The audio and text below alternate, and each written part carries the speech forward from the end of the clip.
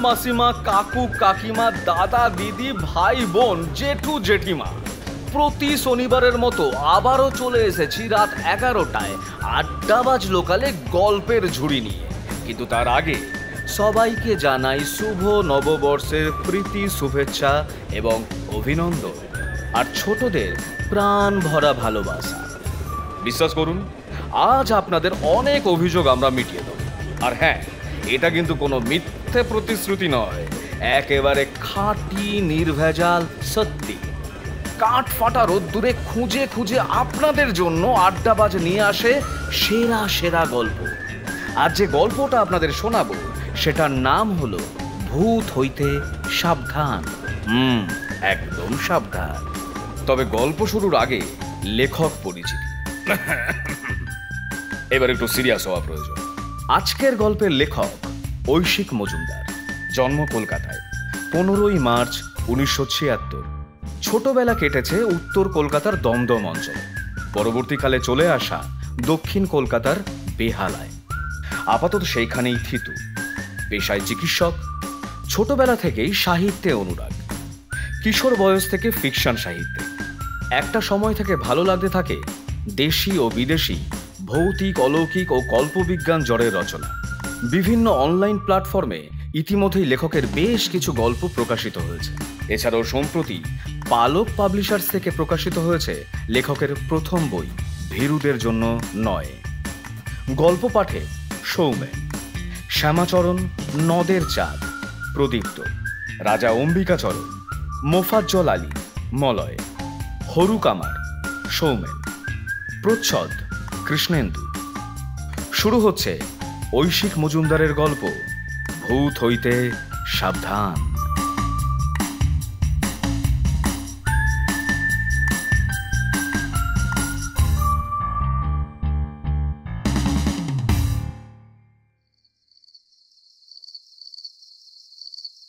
শ্যামাচরণের আর ভূতে বিশ্বাস নেই। তবে বরাবর এমন ছিল না। বছর পাঁচেক আগেও সে ছিল সরল সাদাসিদে বিশ্বাসী মানুষ। আর পাঁচজনের সাথে তার একটাই তফাত সে জমিদারের বংশধর। বজবজের কাছেই গঙ্গার ধারে আছিপুর গ্রাম। সেখানে তাদের পেল্লায় পুরনো দালান কোঠা। এখন অবশ্য তার চেহারা পোড়ো বাড়ির মতো। এদিকে ওদিকে ভেঙে চুরে পড়ছে। সামনের দিকের দুটি ঘরে শ্যামাচরণ কোনো মতে মাথা গুঁজে থাকে। বাপ ঠাকুরদার মুখে সে শুনেছে তাদের পূর্বপুরুষেরা ছিলেন বর্ধমান রাজার অধীন ডাকসাইটে জমিদার। আছিপুরে বাঘ না থাকলেও তাদের দাপটে শেয়াল গরুতে এক ঘাটে জল খেত। যদিও বংশানুক্রমে সেই খাওয়ার দরুন সেই জমিদারি সম্পত্তি আজ তলানিতে এসে ঠেকেছে। কম বয়সে বাপ মা চোখ বোজার পর সেই তলানি এসে পড়ল শ্যামাচরণের হাতে। তার বিয়ে থা হয়নি। সুতরাং ইয়ার দোষদের পাল্লায় পড়ে সেটুকুও উড়ে যেতে বিশেষ দেরি হলো না। তখন শ্যামাচরণ পড়ল মহা আতান্তরে। সেদিন রাতে শুয়ে শুয়ে সে সেই কথাই ভাবছিল। হাতে টাকা পয়সা তেমন নেই। বন্ধু ও শুভানুধ্যায়ীরা একে একে কেটে পড়লেও পাওনাদারদের অন্তরঙ্গতা ক্রমেই বাড়ছে। এই পরিস্থিতিতে কোনো একটা কাজে না ঢুকলেই নয়। কিন্তু ছোটবেলা থেকেই সে কোনো কাজ করেনি। সকালে গণেশ হালুইকরের দোকানে কচুরি জিলিপি খাওয়া, দুপুরে সদানন্দের পাইস হোটেলে মাংস ভাত আর রাতে হোসেন মিয়ার দোকানে বিরিয়ানি খাওয়া। এর বাইরে আর কোন কাজটা তার দ্বারা সম্ভব? অনেক ভেবেও সে তা ঠাওর করতে পারল না। বাপ পিতে মোর মুখে সে তার পূর্বপুরুষদের গল্প বিস্তর শুনেছে। তাদের অঢেল ধন সম্পদ নাকি চারিদিকে ছড়াছড়ি গড়াগড়ি যেত। তা সেই সম্পত্তির কিছুটাও যদি এখন পাওয়া যেত এরকম সাত পাঁচ ভেবে তার ঘুম আসছিল না। আচমকাই ঘরের পিদিমটা দপ করে নিভে গেল। অন্ধকারের মধ্যে শ্যামাচরণ একটা দীর্ঘশ্বাসের শব্দ শুনতে পেল। একটু ভয় খেয়ে সে বলল কে- কে ওখানে? কোনো উত্তর নেই। তবে কেউ একজন গলা খাঁকারি দিল। শ্যামাচরণ এবারে একটু তেতিয়া হয়ে বলল চোর ডাকা তোলে পথ দেখো ভাইয়া এ বাড়িতে বিশেষ সুবিধা হবে না। এ কথায় অবশ্য কাজ হলো। খাঁকারি দেওয়া গলাটা শশব্যস্ত হয়ে বলল কি সর্বনাশ! মহামহিম রাজা অম্বিকাচরণকে চোর ডাকাত বলছো? এতক্ষণে অন্ধকারে কিছুটা চোখ সয়ে এসেছে। শ্যামাচরণ ঠাওর করে দেখল ঘরের মধ্যে দুজন লোক দাঁড়িয়ে রয়েছে। একজন বেঁটে মোটা মাঝবয়সী অন্যজন শিরিঙ্গে বৃদ্ধ। দুজনেরই পরনে যাত্রাদলের রাজা গজার মতো পোশাক। মাথায় উষ্ণিস বৃদ্ধের হাতে একটা বাহারি ছড়িও যেন চোখে পড়ল। গলাটা বেঁটে মোটার। শ্যামাচরণকে তাকিয়ে থাকতে দেখে সে তাড়া লাগালো। হা করে দেখছ কি বাবু? রাজা মশাইকে পেন নাম করো। তোমার প্রপিতামহ হন যে। শ্যামাচরণ আরও বড় হাঁ করে বলল আমার কে হন? প্রো প্রো মানে ঠাকুরদার ঠাকুরদা। এ পেন নাম করো শিগগির। ঘাবড়ে গিয়ে শ্যামাচরণ ঢিপ করে একটা প্রণাম ঠুকে বসল। খুশিতে বৃদ্ধের চোখ ছলো ছলো। কাঁপা কাঁপা গলায় তিনি বললেন আহা ঠিক যেন আমার বামাচরণের মুখটা বসানো। শ্যামাচরণ আরও এক দফা অবাক হলো। বামাচরণকে তোমার প্রপিতামহ মানে ঠাকুরদার বাবা রাজা অম্বিকাচরণের ছেলে।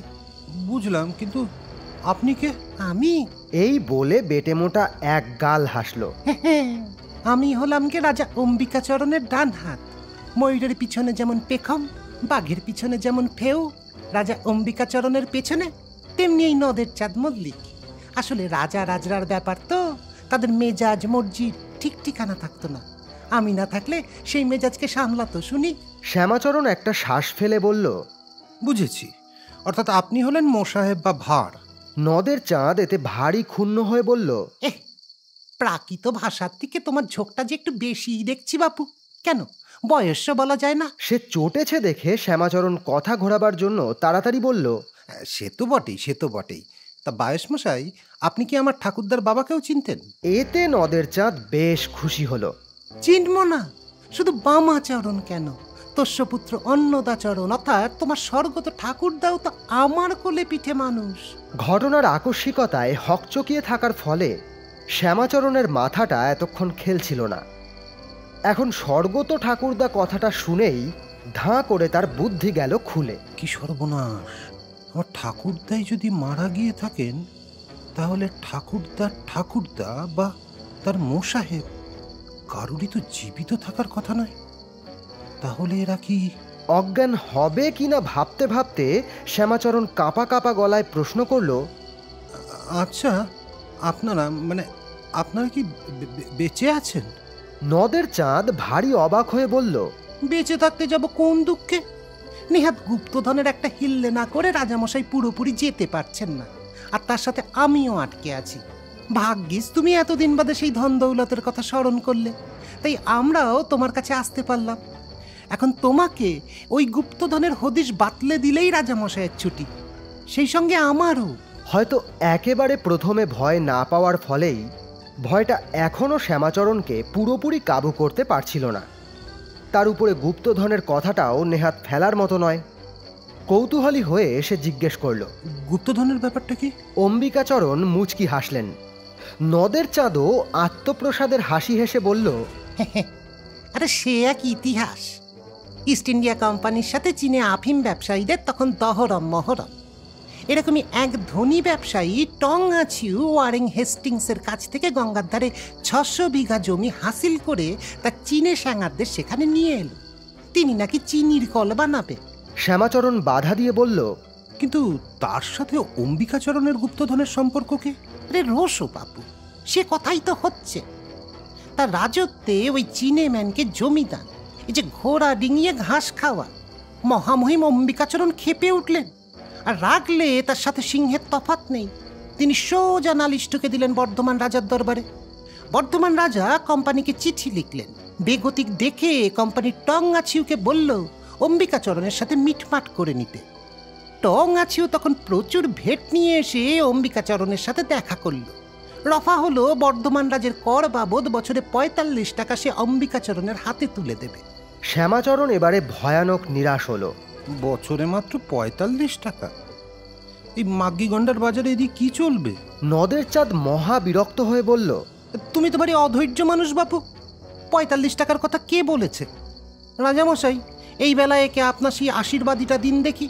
রাজা অম্বিকাচরণ এতক্ষণ চুপচাপ পেছনে দাঁড়িয়েছিলেন। নদের চাঁদের ইঙ্গিতে এগিয়ে এসে শ্যামাচরণের গলায় কিছু একটা পরিয়ে দিলেন। শ্যামাচরণ আন্দাজে বুঝল, একটা সরু সোনার চেন, তাতে একটা অদ্ভুত গড়নের লকেট ঝুলছে। অন্ধকারে হাতড়ে হাতড়ে বোঝা গেল, সেটা আসলে একটা ড্রাগনের মুখ।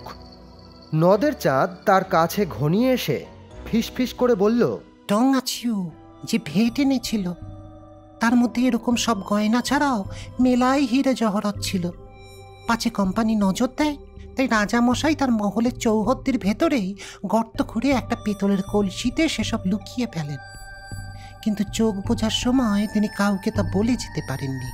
তাই সেই গুপ্তধনের সন্ধান কেউ পায়নি। এখন তোমার মতো উপযুক্ত বংশধরের হাতে সে ধন তুলে দিতে পারলেই আমাদের কাজ শেষ। শ্যামাচরণ উৎসাহী হয়ে বলল কিন্তু আমি তার সন্ধান কি করে পাবো? রাজামশাই দেখিয়ে দেবেন। ওর পিছু পিছু যাও। নদের চাঁদের এই কথার সাথে সাথেই সিনেমার মতো দৃশ্যপটের পরিবর্তন হলো। শ্যামাচরণ দেখতে পেল, সে তার ঠাকুরদার ঠাকুরদার সঙ্গে বাড়ির বাইরে দাঁড়িয়ে আছে। বাড়ির ভাঙাচোরা সিংহদুয়ার থেকে অম্বিকাচরণ উত্তর মুখে হাঁটা লাগালেন। গুনে গুনে ঠিক পঁয়ষট্টি পা গিয়ে তিনি বিজয় গর্বে মাটির উপরে হাতের ছড়িটা ঠুকলেন। তারপর স্রেফ হাওয়ায় মিলিয়ে গেলেন। শ্যামাচরণ বেকুবের মতো খানিক দাঁড়িয়ে রইল। এরপরে তার আর কিছু মনে নেই।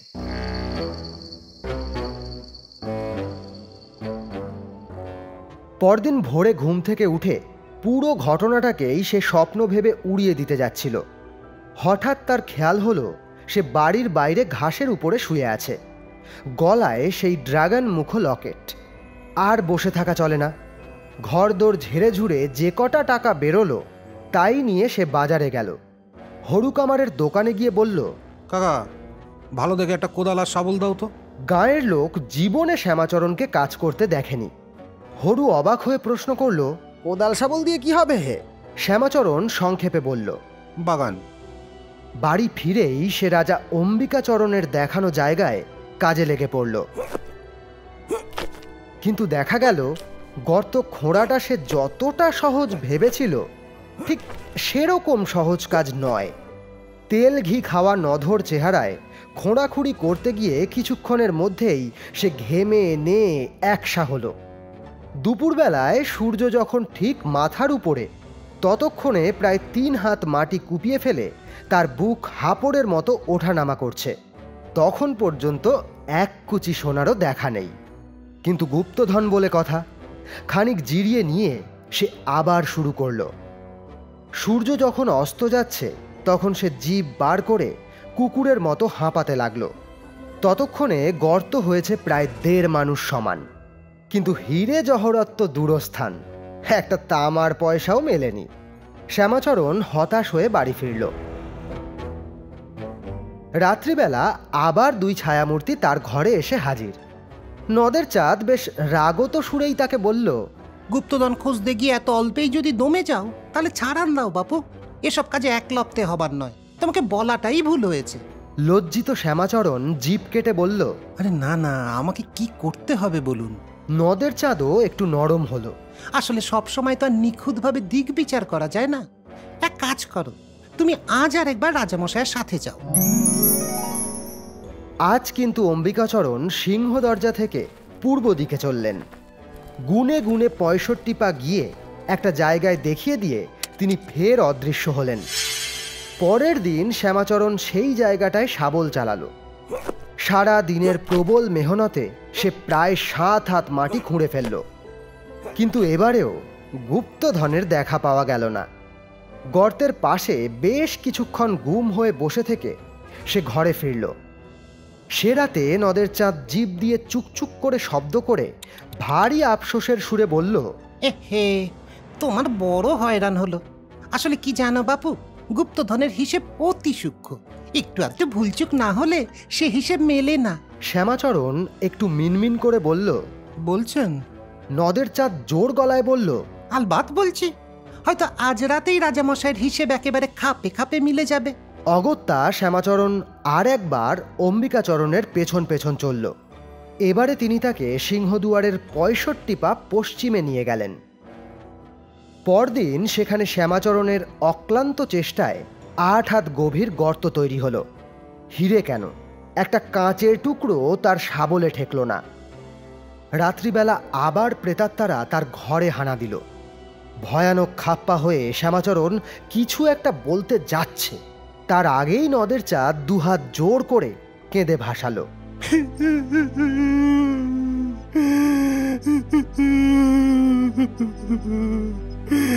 তুমি তো বড় হৃদয়হীন পাষাণ। হে বলি বুড়ো মানুষটার বয়সের কথাটাও তো একটু ভাববে। একশো, দুশো, নয়, পাক্কা আড়াইশো বছর। তার একটু ভুলভ্রান্তি কমাগেন না করতে পারলে না? অদূরে অম্বিকাচরণও অশ্রু সজল নেত্রে দাঁড়িয়ে আছেন। সেদিকে তাকিয়ে শ্যামাচরণের মনটা একটু নরম হলো। সত্যি তো বুড়ো হলে মানুষেরই মতিভ্রম হয় আর ইনি তো ভূত। সে একটু দোনমোনা করে বলল এই কিন্তু শেষবার আর আমি গুপ্তধনের খোঁজ করতে পারব না। নদের চাঁদ শশব ব্যস্তে বলল আর করতেও হবে না এবার এই কেল্লা পথে। এবারে অম্বিকাচরণ শটান বাড়ির পেছন দিকে হাঁটা দিলেন। পরের দিন বাড়ির পেছনে নয় হাত গর্ত খুঁড়েও কিচ্ছু মিলল না। ধুমায়িত আগ্নেয়গিরির মতো ফুঁসতে ফুঁসতে শ্যামাচরণ ঘরে ফিরল। আজ রাতে ভূত দুটোকে হাতে পেলে সে দেখে নেবে। সে রাতে কিন্তু অম্বিকাচরণ বা নদের চাঁদ কারুর টিকিটিরও দেখা পাওয়া গেল না। সম্ভবত পরিস্থিতি বেগতিক দেখে তারা গা ঢাকা দিয়েছেন। তারা না আসুন, ততদিনে শ্যামাচরণেরও রোগ চেপে গেছে। সে এর শেষ দেখেই ছাড়বে। এখনও বাড়ির ঈশান নৈরিত অগ্নি, বায়ুকোণ বাকি আছে। গুপ্তধনের সন্ধান সে পাবেই। প্রতিদিন সকালে উঠেই সে এক একটা কোণ ধরতে লাগল। এতদিন খুঁড়তে খুঁড়তে তার বেশ হাত সই হয়ে গেছে। এক এক দিনেই দশ হাত খুঁড়ে ফেলে। নাওয়া খাওয়ার ঠিক নেই। চোখ লাল, চুলে জটা, হাতে শাবল। মাঝে মাঝেই গুপ্তধন গুপ্তধন বলে চেঁচিয়ে উঠছে। শ্যামাচরণের গর্ত খোঁড়ার খবর পেয়ে গায়ের লোক ভিড় করে দেখতে এলো। প্রথম প্রথম তার কাজে কেউ বাধা দেয়নি। কিন্তু নিজের বাড়ির চারিদিকে গভীর পরীক্ষা খুঁড়ে ফেলার পর সে যখন পড়শিদের বাড়ির উঠোনেও কোদাল, শাবল নিয়ে চড়াও হতে শুরু করল, তখন সবার টনক নড়ল। পঞ্চায়েত প্রধানের পরামর্শে সবাই মিলে শ্যামাচরণকে নদীর পাড়ে রেখে এলো। সেখানে মেলাই জমি। সে মনের সুখে অপ্রতিহত গতিতে গর্ত খুঁড়তে লাগল। যাতে আবার ফিরে এসে উপদ্রব শুরু না করে, সেজন্য গাঁয়ের লোক পালা করে দুবেলা তার খোরাক পৌঁছে দিত। তার কাজকর্মের পথে আর কোনো বাধা রইল না। তবে কি না, এই গর্ত খুঁড়তে খুঁড়তেই তার একটা হিল্লে হয়ে গেল। নিজের নশো সাতচল্লিশতম গর্তটা খোঁড়ার পর সে তার ভেতরে বসেই একটু জিরিয়ে নিচ্ছিল। এমন সময় মাথার উপর থেকে একটা তারিফের গলা শোনা গেল। বাহ বাহ সরেশ গর্তখানা হয়েছে। তোমার এলেম আছে বাপু। শ্যামাচরণ মুখ তুলে দেখতে পেল গর্তের কিনারে এক বুড়ো সাইকেল নিয়ে দাঁড়িয়ে নিচে উঁকি দিচ্ছে। তার পরনে লুঙ্গি আর মাথায় ফেচ টুপি রক্তচক্ষে সে বুড়োকে বলল তুমি কে? গুপ্তধনের ভাগ চাও বুঝি? তড়িঘড়ি জিপ কেটে বুড়ো বলল আরে না না বরং তোমাকে একটা কাজ দিতেই এসেছি। শ্যামাচরণ একটু সন্দিগ্ধ সুরে বলল কি কাজ? ধনরত্নের সন্ধান ছাড়া পৃথিবীতে আর কোনো কাজ আছে নাকি? জবাবে বুড়ো তার সাইকেলের দিকে আঙুল দিয়ে দেখাল। তার গায়ে একটা রং জ্বলা টিনের বোর্ডে লেখা রয়েছে মোফাজ্জল আলী অভিজ্ঞ পাতকুয়ার মিস্ত্রি। আরও বিভ্রান্ত হয়ে শ্যামাচরণ জিজ্ঞেস করল কিন্তু গুপ্তধনের সাথে পাতকুয়োর কি সম্পর্ক? আছে রে বাপ গভীর সম্পর্ক আছে। বুড়ো খুব আগ্রহের সাথে বলল আমি বলি কি তুমি আমার অ্যাসিস্ট্যান্ট হয়ে যাও। আমি যেখানেই দেখিয়ে দেবো সেখানেই তুমি গুপ্তধনের জন্য খুঁড়তে শুরু করে দেবে। গর্ত হাত দশে গভীর হলেই বাকিটা আমি বুঝে নেব। অগত্যা শ্যামাচরণ পাতকুয়ো খোঁড়ার কাজে লাগল। একদিক থেকে তার ভালোই হলো। মোফাজ্জলের সাথে গিয়ে সে নতুন নতুন জায়গায় গুপ্তধন খুঁজতে পারে। গেল বছর মোফাজ্জল পক্ষাঘাতে শয্যা নেওয়ার পর থেকে সেই হেডমিস্ত্রি হয়ে বসেছে। মোফাজ্জলের ছেলে তোফাজ্জল তাকে সাহায্য করে। এতদিনে শ্যামাচরণ অনেকটা থিতু হয়েছে। গৃহস্থের বাড়িতে কুয়ো খুঁড়তে গিয়ে তবুও সে মাঝে মধ্যে বলে বসে গুপ্তধন মিললে কিন্তু ভাগ পাবে না বাপু আগে থেকেই বলে রাখছি। তোফাজ্জল চালাক চতুর ছেলে সে সামলে নেয়। তবে ওই যে প্রথমেই যে কথা বলেছি, শ্যামাচরণের আর ভূতে বিশ্বাস নেই। অর্থাৎ, ভূতকে এখন সে এক বিন্দুও বিশ্বাস করে না।